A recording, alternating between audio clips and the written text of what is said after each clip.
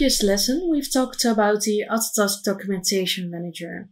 So as I've said before, the Documentation Manager is for very customer specific documentation. And we have the Autotask Knowledge Base for general documentation. So let's take a look at the knowledge base in this video or in this lesson. So to go to the knowledge base um, or go to the admin uh, for the knowledge base, let's go to the admin center, which we can do by going to the menu in the top left corner and clicking on admin right here. And go to the third tab, which is called automation right here at the top. And as you can see, we have the knowledge base and documentation tab right here. So we can click on the plus sign to expand it. And as you can see, we have knowledge base and documentation right here. And in this lesson, we will talk about the knowledge base. So we will click on this. And as you can see, it's the front page is generally the same as for the documentation manager. So you can see um, the different kind of articles and the visibility of the articles for example, if something is internal only or if it's internal and published to a specific company or published to a specific classification or something like that. And as you can see at the bottom right here in this table, you can also see the approval status. So as you can see, we have um, 48 published articles right now, and there are no new drafts or pending approvals. So also for the knowledge base, what we can do is we can set different kind of categories as we did um, for the documentation manager. So let's go to the second tab right here and click on categories. And as you can see, we have different kind of categories as our best practice for the knowledge base. So let's just take a look at these categories. As you can see, we've split it up in two different kind of um, sections. So under all articles, we have a section called knowledge base and we have a section called standard operating procedures. So let's first take a look at the knowledge base right here and how we've built it up uh, through each category. So in the knowledge base, we have different kind of categories matching to different kind of services or products. So we have backup and disaster recovery, we have business management and PSA, Datto RMM and support tools. And as you can see, we have just different kind of categories for each kind of service or tooling or stuff like that. And uh, it will go all the way down to security, server and storage, um, and workstation and clients. You might want to pause this video so you can just take a look at these categories and, for example, fill them in in your own Autotask account. And yeah, the second one after the knowledge base were the standard operating procedures. So let's take a look at that. Within the standard operating procedures, we have different kind of categories for, yeah, well, different kind of departments within the company. So we have a category for finance and administration, procurement and delivery, project, sales and marketing, and support. And within these categories, you can make certain kind of subcategories. So for example, within support, we have user manual templates, but you can just make different kind of categories within the categories to make everything really easily searchable. And yeah, you can just find all different kind of articles really fast because you can just search for the right kind of category or and subcategory. Okay, so after you set up the categories, let's take a look at the knowledge base itself. We can just click on search knowledge base right here at the top and we will go to the knowledge base. So as you can see, this is the search page for the knowledge base. What I've done is I've clicked on this star right here to add it to my favorites. So when I go to my bookmarks, I can just very easily go to the knowledge base search or to the documentation manager right here, which I've also bookmarked to just go to it really easily. As you can see, we have two kind of tabs on this page with the search and the advanced search. Within the search, you get a few basic uh, categories. And from within the advanced search, we can just filter a little bit more in depth. Let's just take a look at the search page or the basic search page. As you can see, we have certain kind of filters right here. And as you can see, we have the article category filter right here. And we, we have it, or the standard is all articles, but we can just click on it and we can filter on different kind of, of articles or different kind of categories depending on which category we need. And if not everything is visible, we can just click on the selector icon right here and it'll open it up or open a select article category page right up. We can just search a little bit more in depth. So let's just close this page right now and search, for example, knowledge base. And as you can see, we have the filters right here. So we can, or the buttons right here to clear the filter values or to choose filters. So if we click on choose filters right here, we can add different kind of filters to our selected filters view. So you can just search for um, uh, a little bit more in depth.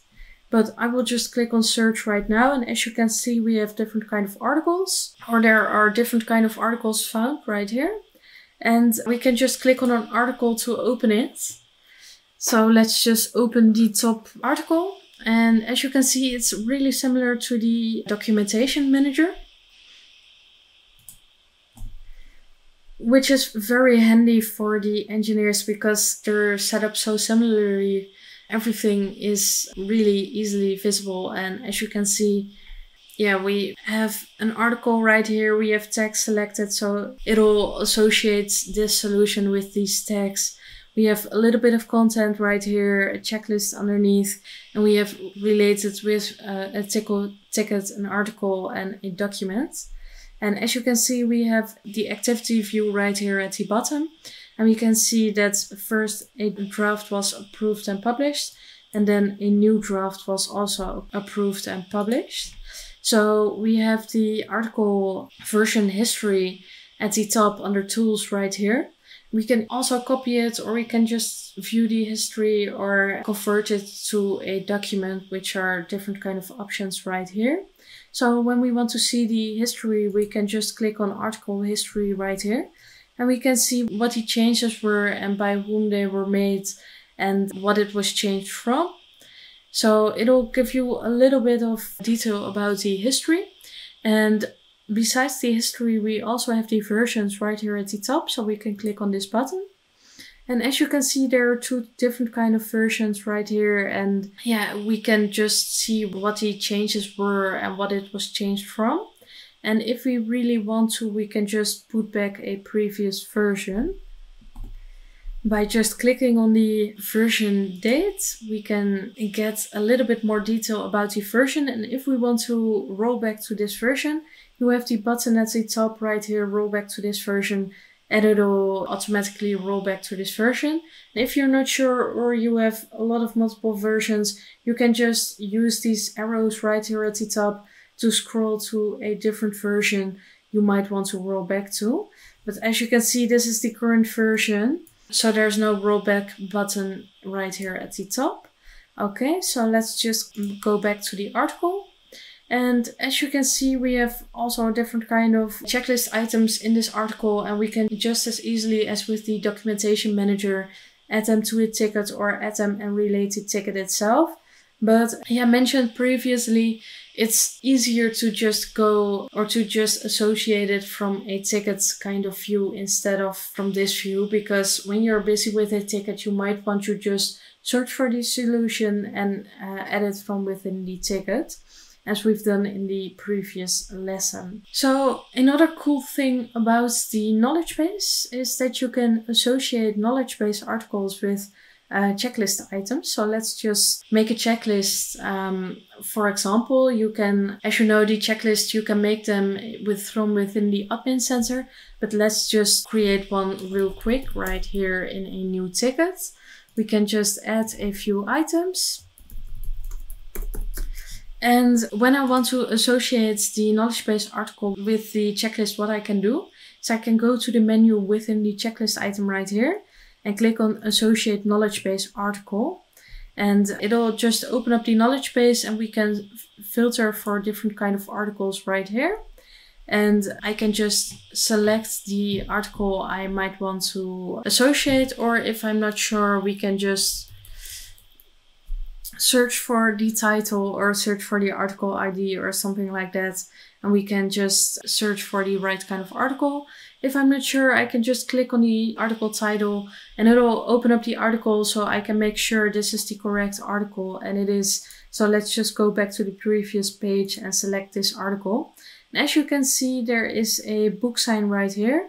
And it's this sign, well, indicative for yeah that a knowledge base article has been associated with this uh, checklist item.